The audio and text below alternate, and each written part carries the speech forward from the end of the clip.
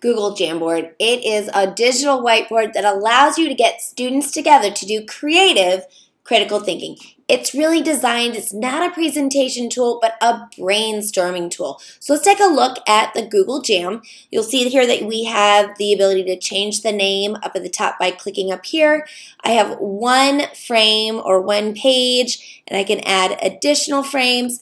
But what we're gonna look at right now is set the background. So you notice by default you have this white background. We're going to set background and you have these options to change it to dots, set the background, change it to lines, set the background, change it to graph paper, set the background, gray graph paper, dark blue, which goes really great when you choose marker and a white pen